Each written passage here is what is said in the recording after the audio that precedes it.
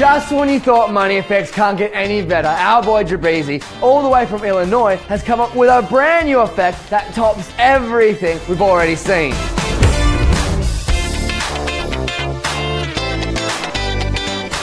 Imagine you're at the end of your card routine. You give your deck of cards a toss and it turns into a fat stack of bills. Hundreds, dollars, whatever you want, it's for you to spend right then and there.